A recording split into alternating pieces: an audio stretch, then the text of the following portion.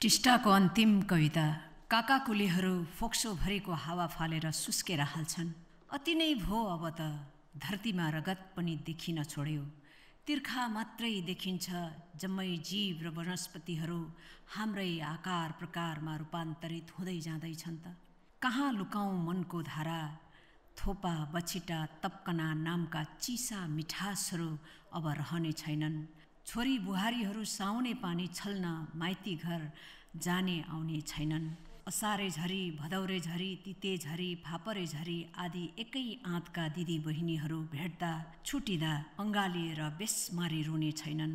पँधेरा हुने छैन पँधेरामा गाग्री गाग्रीमा धारा धारामा मायाको भाका हुने छैन। गाग्रीभरि पानीको शुभ साहित कलशभरि पानीको पूजा हुने छैन। पछ्यौरीको कथा पछ्यौरीमा लागेको दाग धोइदिने धोबी दाजै हुने छैन। साँझ पख पँधेरामा इन्द्रेणीको लर्को हुने छैन। बेला अबेला डुली हिँड्ने देवदेवीका छाया हुने छैनन्। चामे भरो पानी भर्न पँधेरा आउने छैनन् र माइती घरमा गौँथलीहरूलाई पनि पँधेराको तिर्सना आउने छैन। कुलो हुने छैन खेत हुने छैन बाउसे रोपहार बिउ बिजन बिस्कुन खला दाई न्वागी केही हुने छैन। कुल पितृ देवदेवी भूत प्रेत चढाउने मनसाउने नयाँ उत्सव पर्व आयोजन केही हुने छैन। छाल तरङ्ग लहरहरू धडियामा छेकिनेछन् नसाका रगत र आँखाका आँसु दुवालीमा थुनिनेछन् सिमसार दह र सङ्ला पोखरीहरू जाल र बल्छीमा पर्नेछन् नाउँ हुने छैन न त पतवार। मझधारमा पार लाउने माझी धाई हुने छैन। केवटको वनवासी कथा हुने छैन।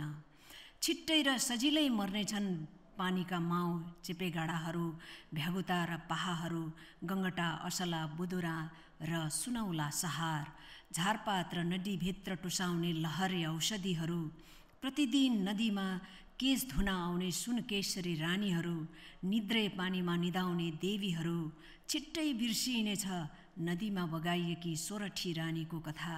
जलपरीका कथा काली नाग र नागलोकका कथा समुद्र मन्थन र नीलकण्ठको कथा फड्के पुल र मनसँग मन जोड्ने लामा लामा सेतुहरू केही रहने छैनन्। सहस्र भगीरथहरूका तपस्याले पनि भगीरथी अवतरण सम्भव भएन अब। अगस्ती तिर्खाले छटपटाइरहेको हिंसा छ। अब न त टिस्टा चराका गतिमा आउनेछ न त रङ्गीत सर्पका चालमा आउनेछ। दुमो जोगाउने सह राख्ने मानवपाथी भर्ने बेला रहेन अब। न त रस न त रक्सी न त ओखती न त अमृत नै हुनेछ। तिर्खा र भयङ्कर डढेलो हुनेछ। केवल कहाली लाग्दो मान्छे हुनेछ। मान्छेको खडेली लागेको किदी हुनेछ। न त योग न त सम्भोग न त कुनै राग न त पराग। न रज न वीर्य न रुद्री न चण्डी न कुनै लिङ्ग अभिषेक केवल मसान मसान हुनेछ। जागित्रेको पनि शेष अवसान हुनेछ। टिस्टा रङ्गीतको रसिलो प्रेम कथाको अन्त हुनेछ। के अब टिस्टाको यो अन्तिम कविता हुनेछ?